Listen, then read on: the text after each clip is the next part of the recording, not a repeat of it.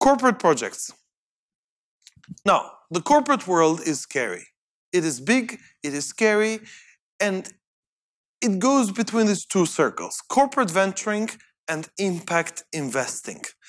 Corporate venturing is when larger companies decide to start thinking, investing, developing a new product. So they have their established products, but they say, we need something new now. Now, something new is new for them as well, which means something new for a large company is like a small new business startup within a large company. That is corporate venturing. Impact investing is when they want to do some good in the society, when they want to have an impact. For example, Steve Jobs' iPad was a corporate venturing that changed the idea we use smart devices and tablets. Um, Coca Cola sponsoring the Olympic Games is impact investing. It's very large firms that design that, that decide to sponsor, become one of the main sponsor uh, for one of the sport events in the world. Impact investing. It's a project. It is not part of their daily activities.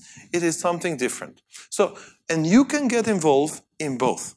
Larger firms launching new products or larger firms having an impact, being involved into a project that might not really be a product, but the PR, the public relation, gives them marketing uh, credentials. It, it, it, can be an event, a sponsorship, something they need your skills, even if it's something temporary. So these are the two opportunities.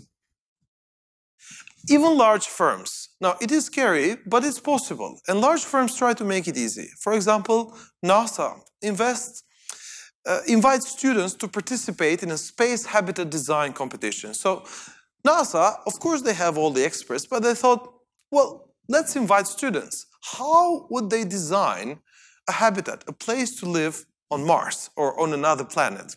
Now, look out for these invitations because companies do put them forward. Hmm?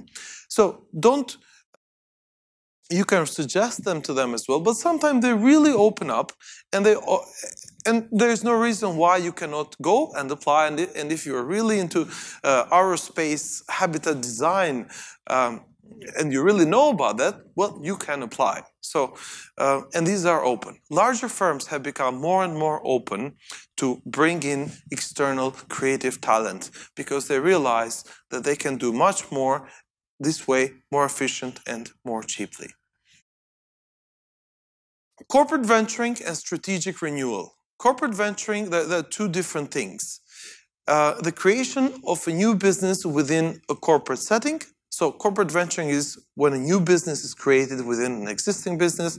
Strategic renewal is the reconfiguration of existing business. So, changing, reinventing the existing business. Two possible ways or strategies how to do that.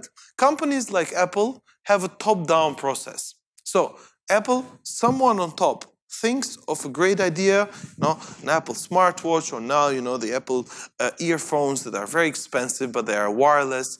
So, and then it's implemented.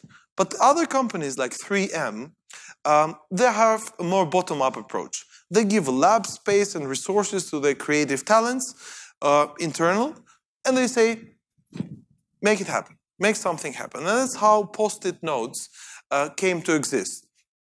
The combination of the idea of one guy who used to go to church and then uh, he wanted to put notes on his on his Bible, uh, and then and they would fall. And then he talked to another of his colleagues who developed this glue that was sticky but but didn't stick on both sides. And they worked together and they created post-it notes, which is paper with some glue that could stick on a book mm, to, to just stay there and then you can write a note there and they won't fall off. Post-it notes were created out of uh, the need of one engineer who was working on something totally different in 3M, who talked to another engineer in 3M, and they created this product. So it was a bottom-up approach. So two examples of corporate venturing strategies. Uh, strategic renewal, on the other hand, is more about adapting to the market.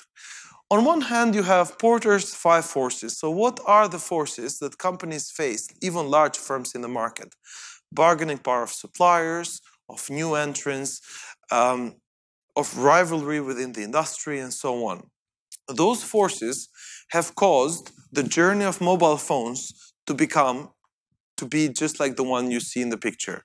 They started very big with an antenna and they became very, very small, and then they started becoming big and flat again with larger screens as a result of each of these companies Samsung, Apple, uh, LG, and all of them, Huawei now, Xiaomi, responding to all this competition within the environment, strategic renewal. Yeah? Um, new to the market or new to the organization? This is the way organizations think. Is something they are working on new to the market or new to the organization? Hmm? It depends. And you can, uh, and what do you want to specialize more when working with larger firms? So all these four dimensions are possible.